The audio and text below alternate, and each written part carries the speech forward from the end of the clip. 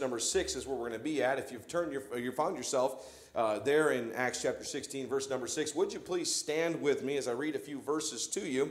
And uh, then I'll pray and ask God to bless and meet with us in a special way today. Acts chapter 16, verse number 6. The Bible says, Now when they had gone throughout uh, Phrygia and the region of Galatia and were forbidden of the Holy Ghost to preach the word in Asia, after they were come to uh, Mysia, they essayed to go into Bithynia, but the Spirit suffered them not.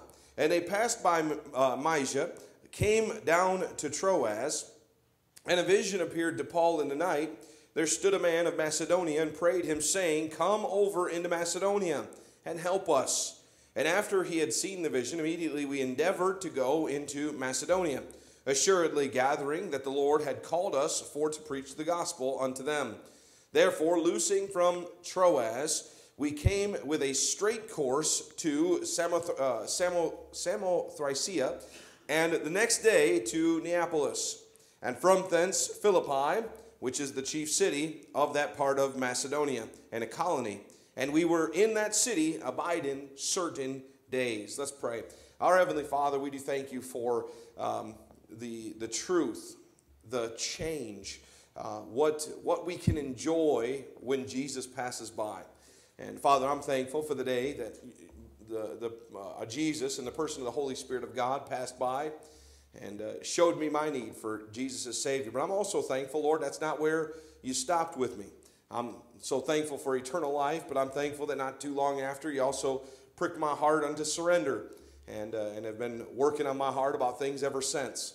And I'm very thankful, Lord, for uh, all that you've done and ask, Lord, that you just continue to work in each of our hearts, in each of our lives, giving us exactly what we need that would help us to get just a little closer to you tonight. Lord, I sure would love to see that testimony in our church, that little church that turned the world upside down. And I'm not asking for that testimony for a pat on our own back. I just know what comes along with turning the world upside down. That means souls are saved in our community. That means lives are changed in our community.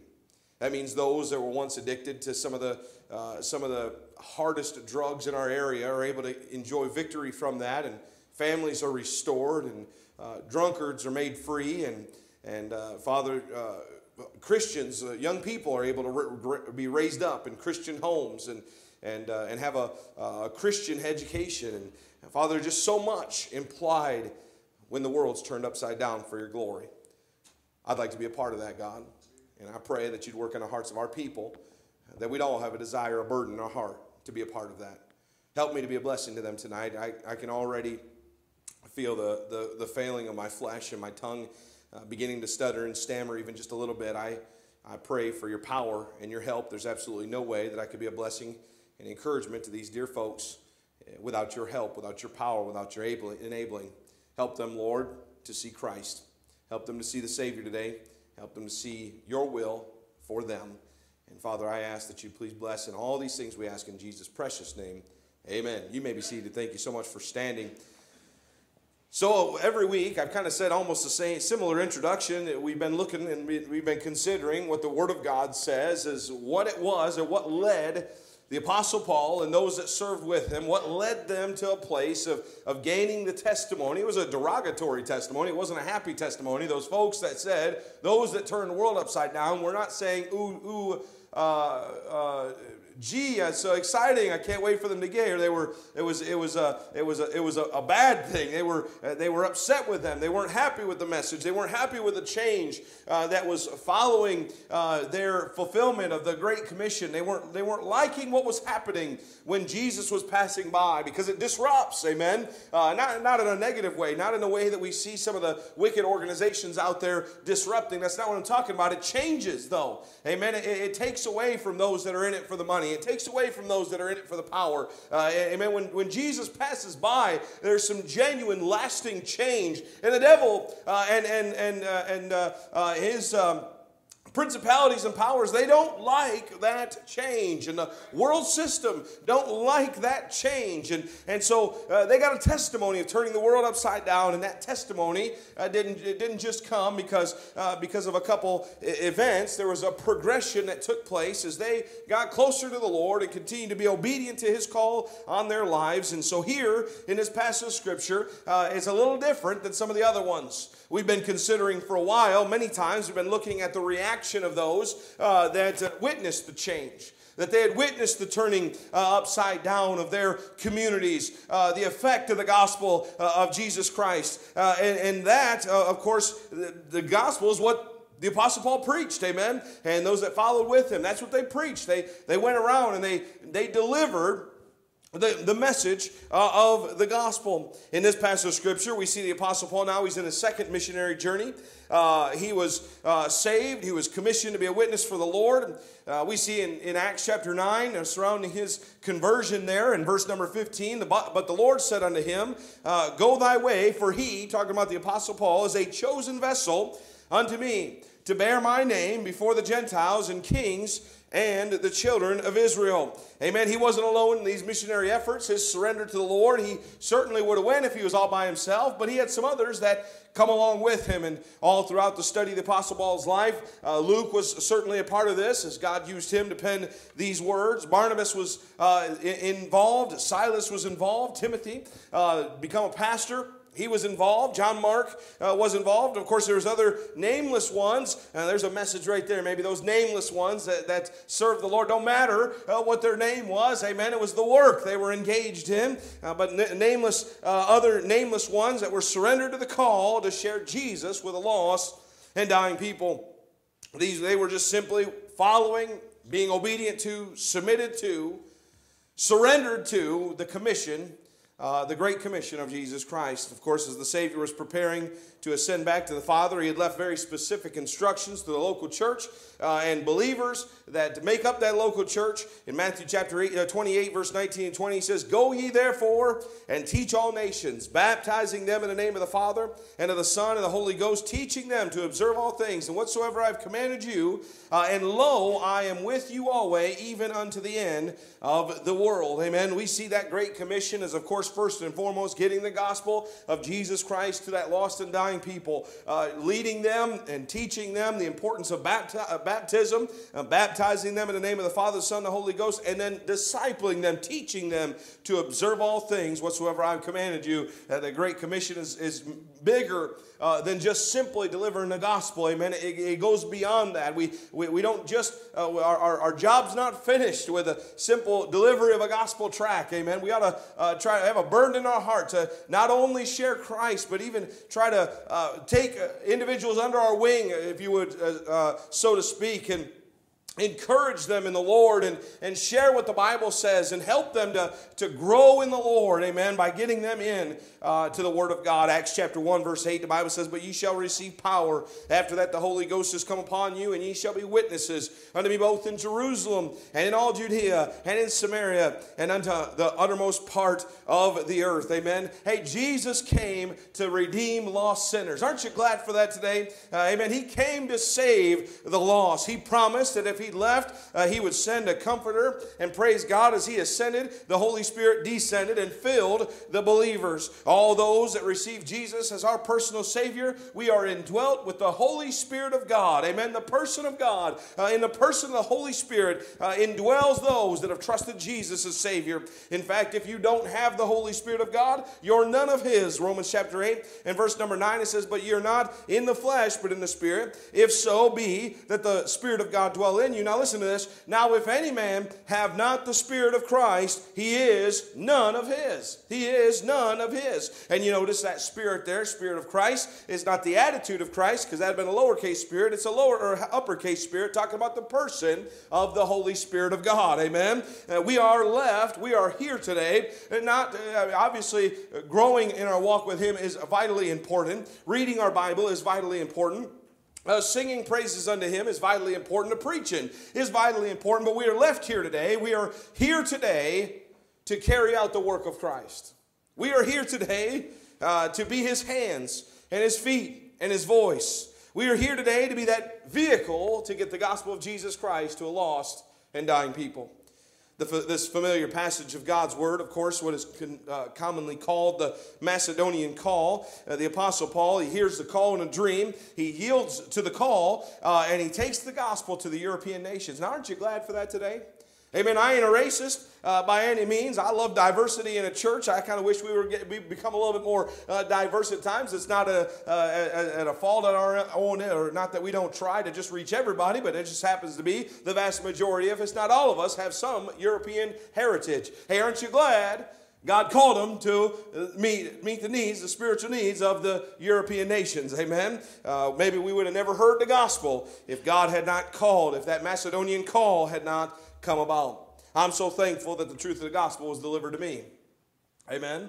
I'm thankful somebody was willing to uh, preach. And uh, was just uh, this weekend playing volleyball with some folks over at Lighthouse, and I was thinking Amber uh, Amber Foot, well, it used to be Foot Brombo or whatever her married name is, but uh, she is the granddaughter of Brother Lee Foot, the dear brother who with an oxygen tank. You say, I, you know, I just, I'm just I just don't feel good enough to, to, to be a soul winner. I just don't feel good enough to share Christ with an oxygen tank and oxygen on his nose, walking door to door, uh, sharing the gospel of Jesus Christ. Uh, knocked on my wife's uncle's door. My wife's uncle never went to that church, but he told us about the church. Amen. We went there six months shortly, six months after we started attending there. I got born again. Amen. And I, was, I, was, thinking about that when I was uh, playing on the same team as his granddaughter uh, in, uh, on, on Saturday. And I'm thankful the gospel was delivered to me. Amen. I'm thankful that I got to hear the gospel message, but there's so many out there have not heard the gospel message. They have some sort of, they're confused. Uh, if they have heard anything about the gospel, it's never been clearly presented to them. Uh, they've heard the name of Jesus in a byword or a curse word, uh, but they've never had somebody just simply present the, the wonderful, the simple plan of salvation uh, to those uh, that are lost. Now, listen, I don't think I'm going to deliver any new news in this next statement here, but, if, but it is the message of the cross that will turn the world upside down. I, I, I, cannot emphasize that enough. I cannot stress that enough. Uh, that is, it is the message. Of the, if we want to turn the world upside down, it's not, a, it's not going to be about more programs. It's not going to be about more, more ministries. It's not going to be uh, a, a financial thing. Amen. It is going to be about what we do with the message of the cross. If we are going to see real lasting change in our communities, if we're going to see real lasting change in our day, it will only be in the fulfillment of the Great Commission. By God's grace, I'd like to like for us to consider the expectations that we find in our text revealed to us in the text that I just read here as I preach on this thought, our submission to Christ's commission. Our submission to Christ's commission. In verses 6 and 7, we see, first of all, the call of the commission. The text, of course, it reveals uh, things about the, the call that I think each and every one of us need to understand. I think we need to understand and we need to accept. We see there was a call of service there in verse 6. And now, when they had gone throughout uh, Phrygia and the region uh, of Galatia and were forbidden of the Holy Ghost to preach the word in Asia, I think it's important that we keep in mind here that it was it, this was not a vacation trip for the Apostle Paul and for those that were serving with him. Amen. They weren't just going around uh, uh, living in the laps of luxury, traveling around to see the sights. Amen. Uh, they had been, they had given their lives over to the use of God. They had left, in, in many cases, left their families. Amen. Left their comfort, uh, left those things that that uh, uh, gave them, made them feel uh, stable, and they left a lot of those things for the instability of serving God. Amen. They, they left those things to serve the Savior. And Their days were consumed with, with ministering and sharing the gospel of Jesus Christ. And listen, what a blessing to see uh, in these that, that, that uh, turn the world upside down a, a genuine burden in their hearts for the need of others. Before we make a mistake of thinking that this is something, ex, some extraordinary Christianity, that this is some picture or some portrait uh, of, of, of, a, of a super Christian, Listen, I, I, believe that this is what the Apostle Paul simply told us in Romans chapter 12, 1 and 2, is our reasonable service. Amen. This is just our reasonable service. Hey, if we desire to live lives that are Christ like, then our lives uh, ought not to be lived uh, as, if, as uh, with, with the desire to please ourselves. Amen. If you're saved today, Uh, if you're born again today, you too have been called to serve the Lord. Amen. The, the Christian life is not a sideline service. Amen. A Christian life is not a, not a, not a service or not a life of idleness uh, in the Lord. If you are saved today and you still have breath in your, in your life, amen, uh, you are called to serve God every single day. We come across countless opportunities to be used of God. On uh, Wednesday, Brother Jonathan was talking about redeeming the time for the days are evil. He talked about the word circumspectly uh, briefly as well. And, and listen, we only have so much time. I got to thinking about that. We only have so much time. And we hopefully, and, and, listen, even if you live to 100, that's still not that much time when you can, when all things considered. Hey, man, we, we just are, we don't have that much time. So it's important that we're good stewards of the time God has given us. That circumspectly, of course, primarily has to do with watching for pitfalls and, and, and the, the, the uh, caution of the Christian life, not getting entangled with the snares of the devil. But I also believe there's, uh, there's an application there for looking for opportunities. Amen. Having our eyes open, be, being sober, being vigilant, not only for the devil, but I also believe that, that looking for those that need Christ as Savior wanting to listen to the leadership of the Holy Spirit of God, wanting to make sure we're in tune with Him, want to make sure we're in not only within His boundaries, but we're also in His will.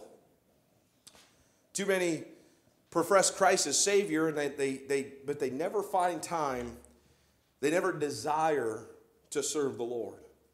Listen, I, I know that there are things that, that we have to get done in this life. I understand there's obligations to our family and different things like that. Please don't misunderstand me. I understand there's, a, there's an order uh, in, uh, in, in serving the Lord, our, our homes, our churches. I understand all of those things, but serving the Lord is important.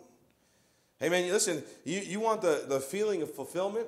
Hey, you want something that will actually offer and bring you a real satisfaction? Serve the Lord.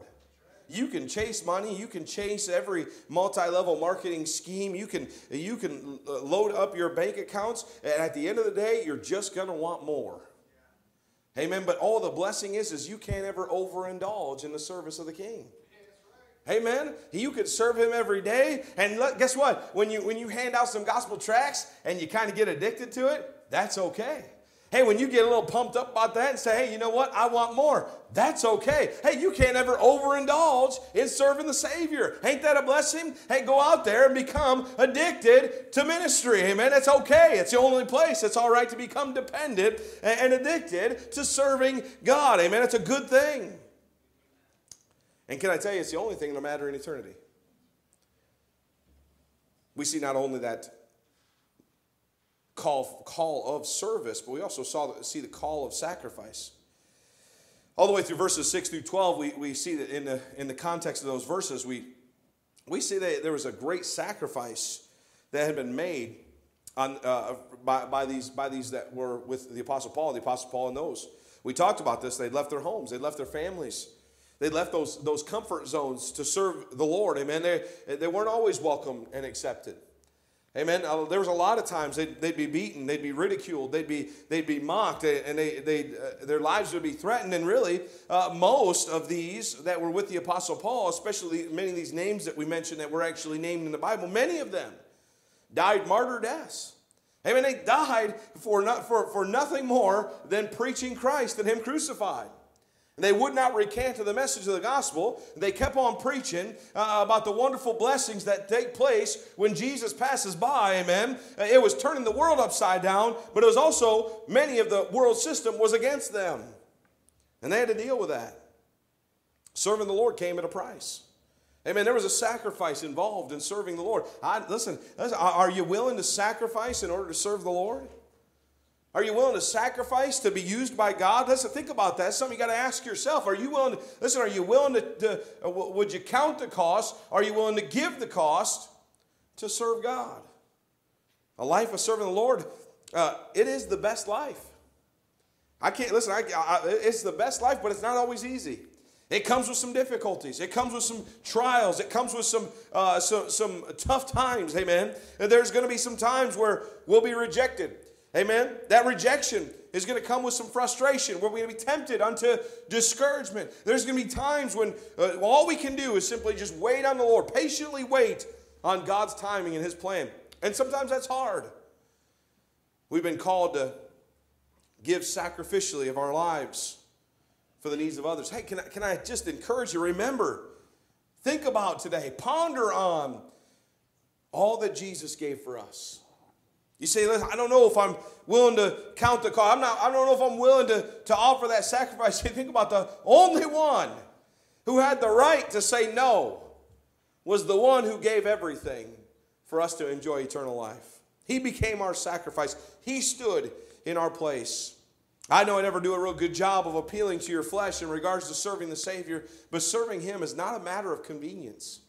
Hey, man, listen, if you're waiting for a convenient time to yield to the Lord, if you're waiting on the, just things to get a little easier, your calendar to open up just a little bit, to yield, to submit to His personal and private call on your life for sacrificial service, the sad truth is you'll most likely go to the grave as one who did not do very much for Jesus, or at the very least did not live to the potential he had for you. I believe serving the Lord requires that we die to self so that we could serve him in whatever capacity, whatever way, whatever ministry, whatever way that he chooses to use us. Will never be, I believe, will never be what God desires us to be, will never be uh, living up to the potential that He has for us if we're not willing to pay that price. It is a sacrifice. There's a call for service, there's a call for sacrifice. There's also a call we see in verse 6 and 7 a call for submission. Now, when they had gone through uh, Phrygia and the region of Galatia and were forbidden to the Holy Ghost to preach the word in Asia, listen, after they were come to my, uh, uh, Mysia, they essayed to go into uh, Bithynia, but the Spirit suffered them not. The Apostle Paul, those that were serving with him, Amen. Uh, they, they, those that served the Lord with him, they weren't just, like I said, weren't just wandering around aimlessly. Amen. They weren't just kind of going, well, hey, what do you think? Uh, today, where you, y'all want to go? I mean, just over. They, they weren't spinning the globe. Amen. Back then, the world was flat anyway. No, I'm just kidding. I'm just joking. Joking. Joking. Still flat, by the way. No, I'm just kidding. It's just a joke. That's a joke.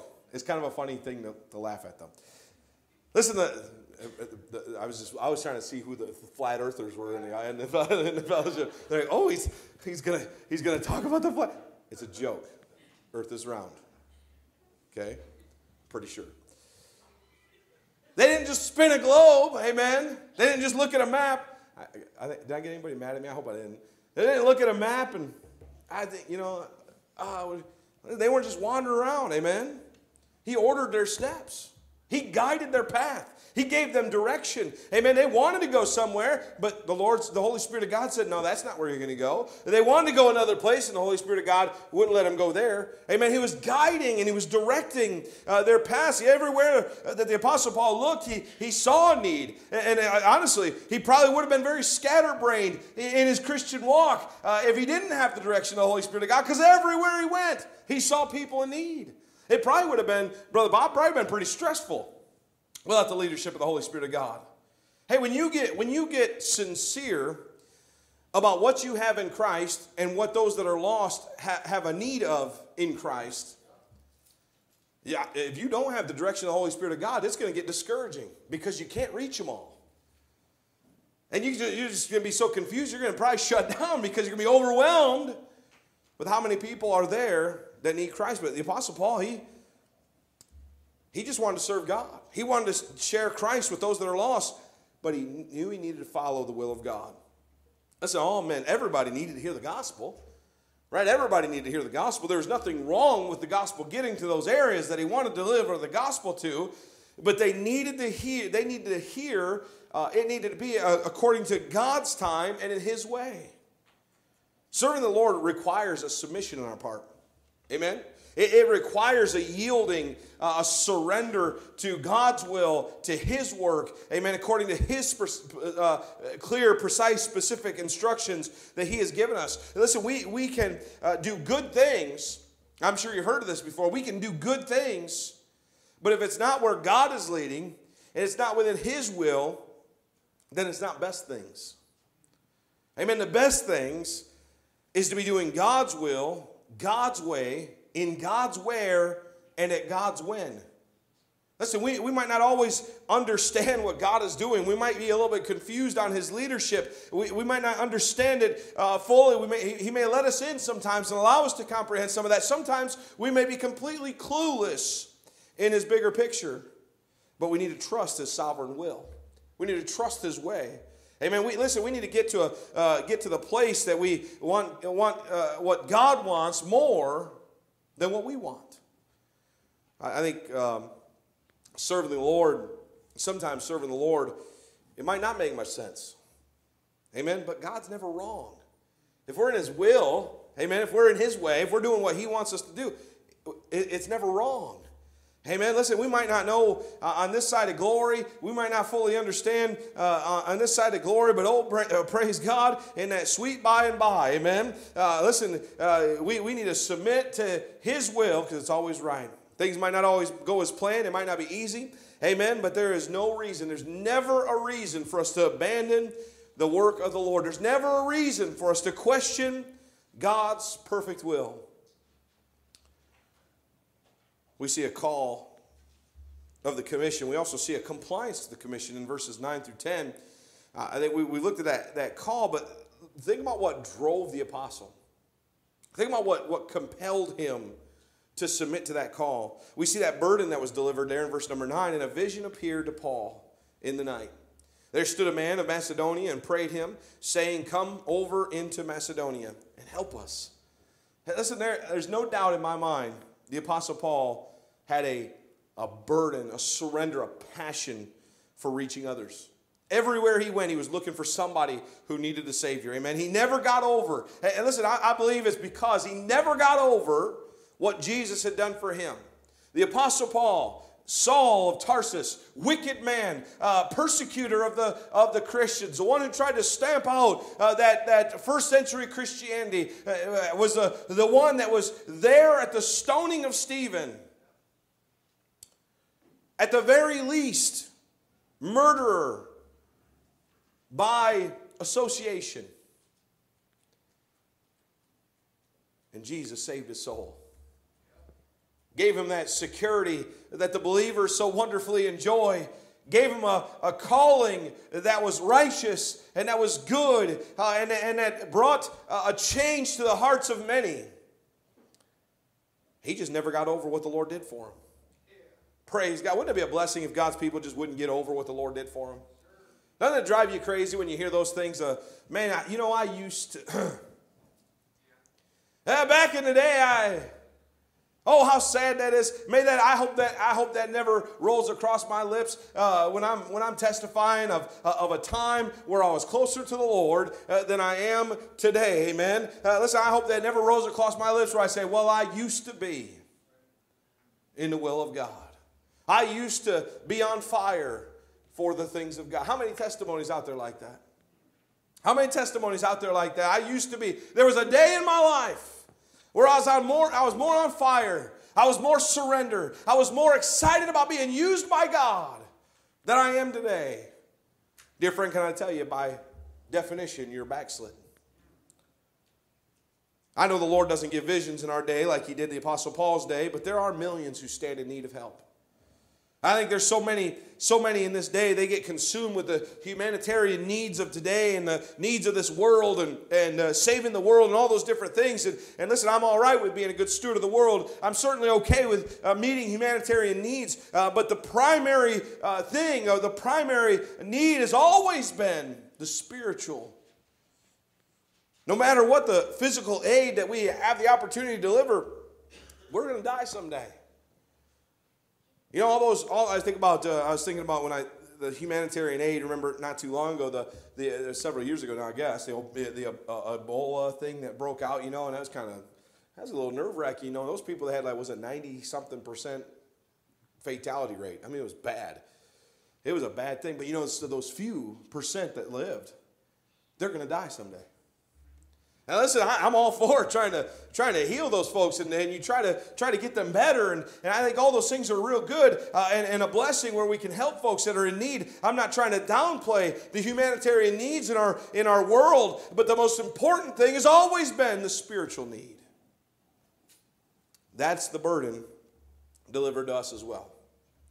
Amen. God might not lead us in a dream like he did the Apostle Paul, and if a dream is of the Lord, it will be perfectly lined up with the Word of God. If your dream is outside the boundaries of God's Word, that is not of the Lord.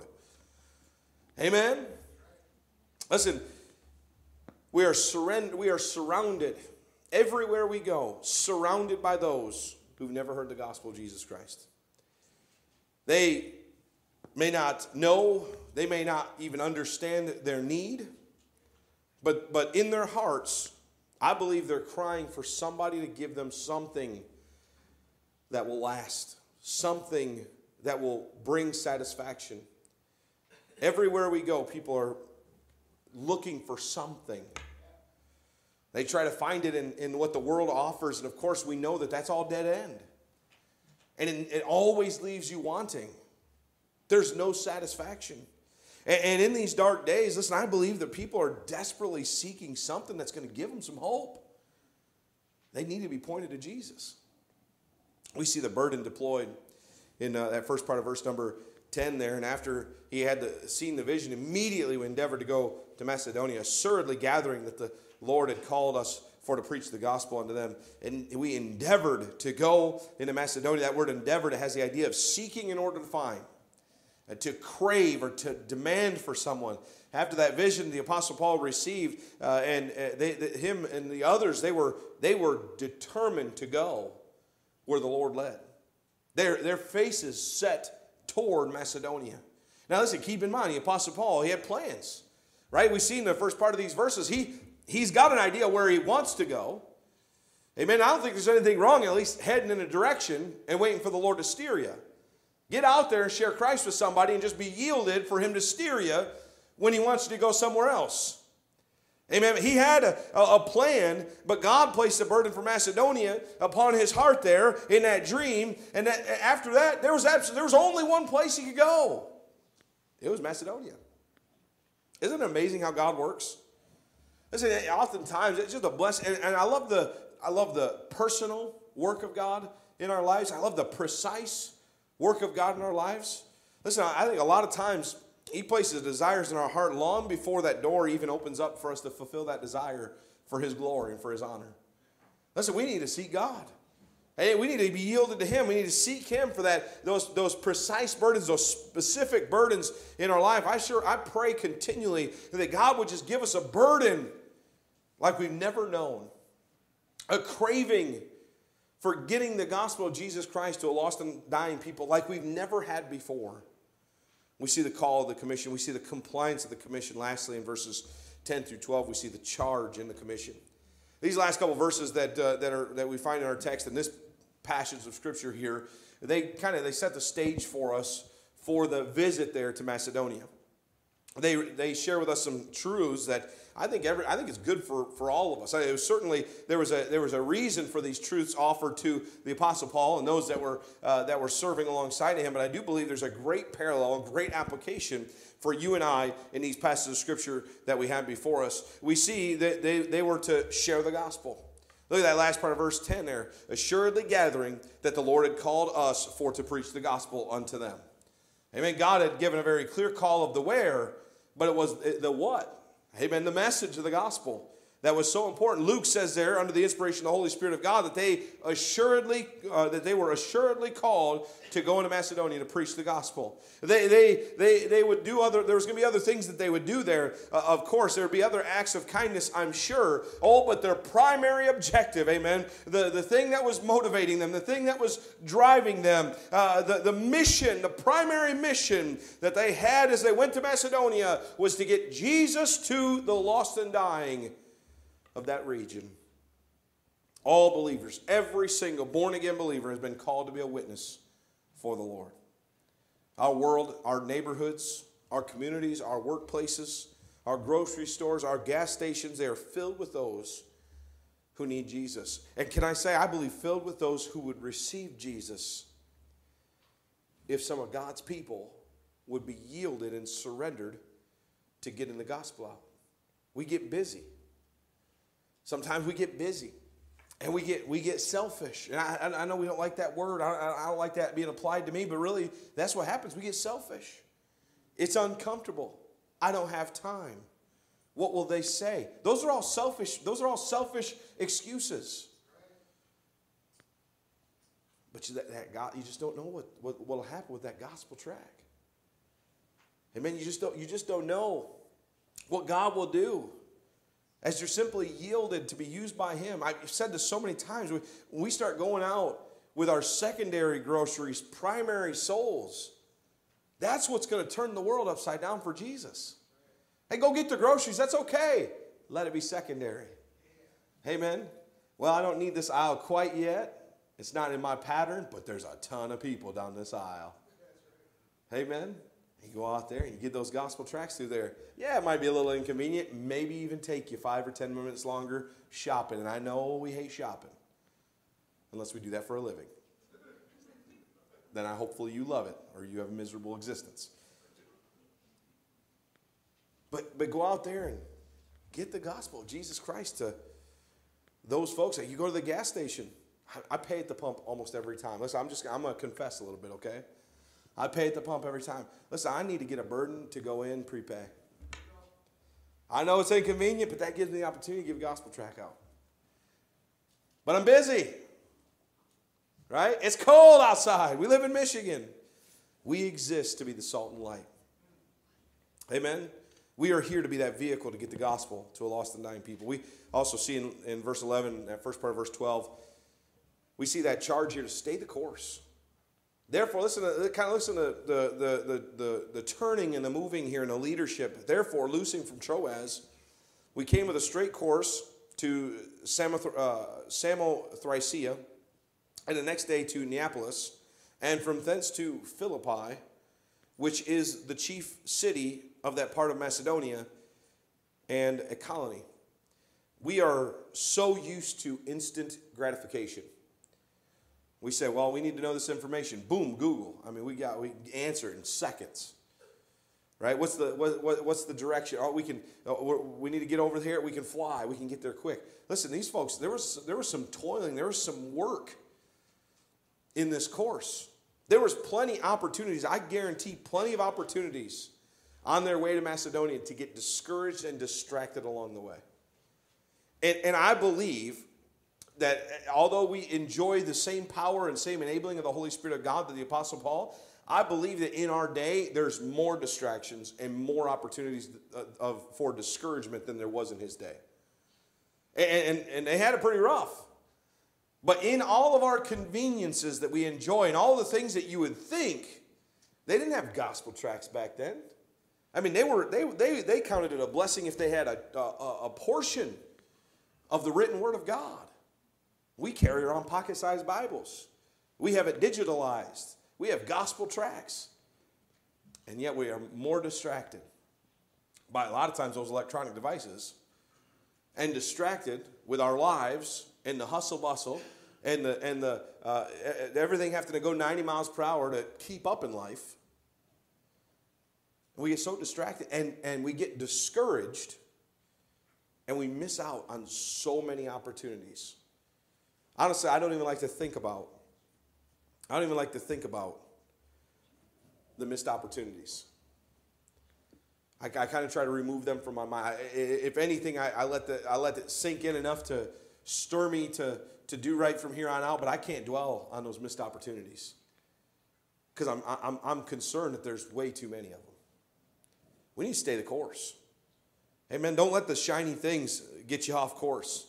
Amen. Don't get don't let the distractions and the discouragements get you off course. Hey, it, it might be a long way. It might be a while uh, before you get to exactly where the Lord is leading you, uh, but you stay the course. Amen. Stay in his in his will. Stay in his way. Keep on being led by him. Keep on being led by him. Keep on being led by him. Uh, don't don't don't get yourself uh, off of God's plan. Lastly, we see in that last part of verse 12 secure the task. Amen. That's a charge for, for them. It's a charge for us. Secure the task. The Bible says, and we were in that city abiding certain days. Amen. They, they were there in Philippi certain days. They weren't, they weren't looking to, to move on before it was time. Amen. They just they, they, were, they were there to accomplish a work. They were there to secure a task. They stayed the course, but they also finished well. Listen, we might feel if if uh, we have a that uh, that uh, uh, we, we may uh, we, we need to be very careful that we that we don't get going on this distraction that not only do we not get distracted from the staying the course but we don't get distracted and, and quit early. Amen? It's so important that we don't quit early.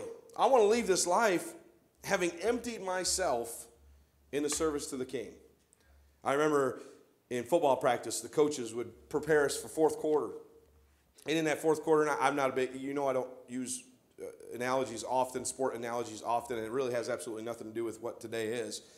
Um, but but I was thinking about this, leaving it all, leaving it all, uh, emptying ourselves for the service of the Lord. But that was probably the primary sport. Others may have had the same experience in other sports that they played, but the coaches would push us in those for those last few moments, and that would be the hardest work. That would be the most grueling work, and they'd be pushing us and they'd be hollering fourth quarter and they would be motivating us to keep on going. Why? Is because that's the time we're just about ready to give up.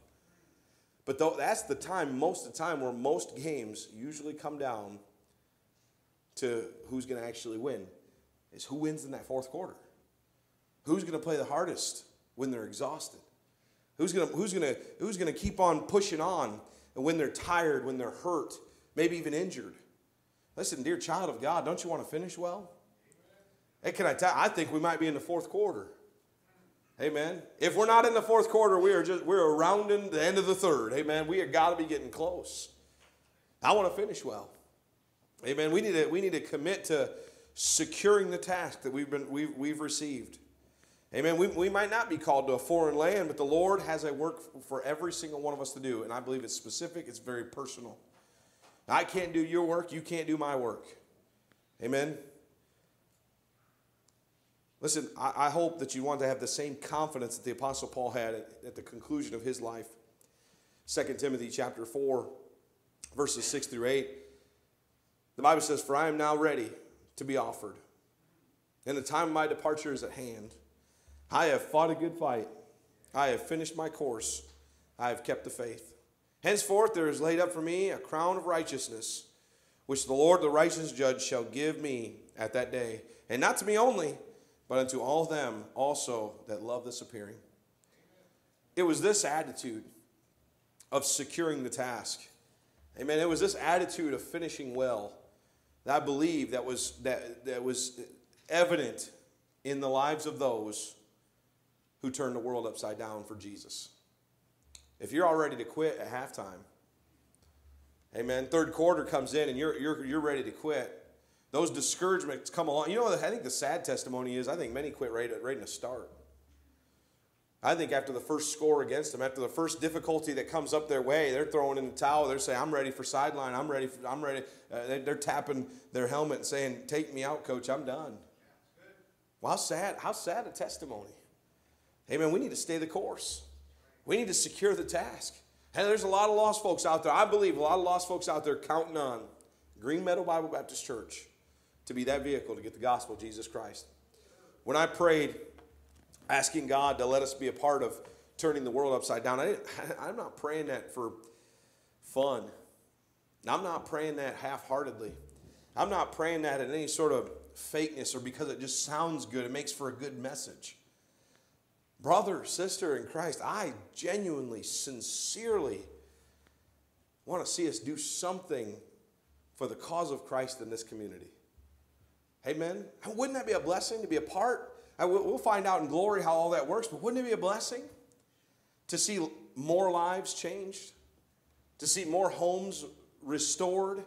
We got a lot of hurting in, in our area, our specific our area specifically, and of course we reach all the way out to Schoolcraft, sis. I mean, we got we got parchment. Uh, I mean, we got we got some we, we got we got some grounds to cover, not just this area. But there's a lot of folks hurting in these areas. Amen. They're discouraged. They're, they're, they're trying to find every, anything they can in the world to give them some sort of satisfaction, but we've got the answer. And it can turn our communities upside down. But we got to stay the course. Amen. We got to secure the task. Would you stand with me? I hope it was a blessing to you. I, I got jumbled up on a couple of the points of thoughts I was wanting to give out here, and I don't know if it came across exactly the way I wanted it to come across. I just I'm just going to trust that the Lord gives it to you exactly the way it's supposed to come across, amen, and, and uh, that He'll get the glory for it. But listen, I understand the message is simple today. I don't think there was anything difficult to understand in the preaching today. I, I certainly, I don't think I teased the intellect, as Brother Tim Green would call it, uh, for, for us tonight. But dear brother, dear sister in Christ, when the Lord calls, we need to go. Amen. We need to yield. We need to submit. Amen. Where He leads us, we need to follow. Where He commands, what He commands, we need to do it. Amen. There is no greater joy, there's no greater satisfaction. Try it. Tr- prove me wrong. Please prove me wrong. Go out there and put a, some big goal of gospel tracks and then, and then, uh, like your life depended on it, fulfill that goal. 100 gospel tracts. You'll probably do 200 the next week because you'll be hooked. You'll find satisfaction like you've never seen before. And guess what? It's something that it's, it's okay to indulge in. Hey, man, you might not be able to eat all the peanut butter you want, but you can give out as many gospel tracks as we have on that track rack. Ain't that a blessing tonight? Listen, there's no greater joy being used by God. I'd ask that you'd surrender with the words of the prophet of old there Lord, here am I, send me. Here am I, send me. Are you willing to embrace that commission? Are you willing to yield to it? Are you willing to submit to it? That commission that we've all been given? Are you prepared to step out by faith? Are you prepared to surrender your all to Jesus? I might not be popular, but I believe it's right. With eyes closed and heads bowed, how's God worked in your heart today? As Miss Holly begins to play, whenever she gets ready here, whenever she's ready, she's going to start playing. How's God worked in your heart?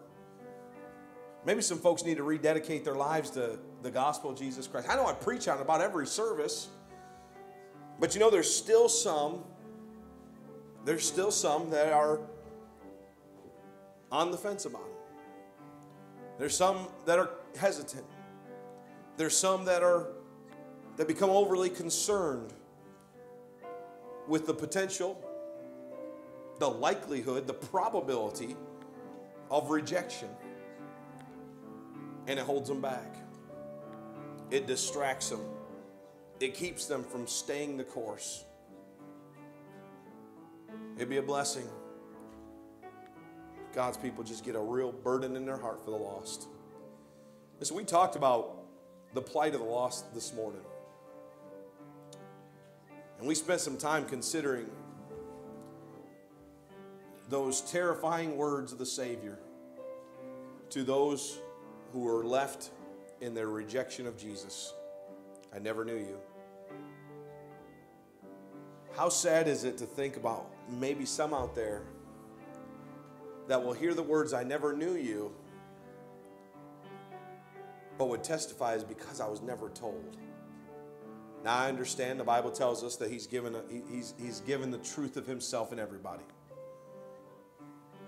Everybody knows there's something bigger out there. I don't believe in a real, genuine atheist.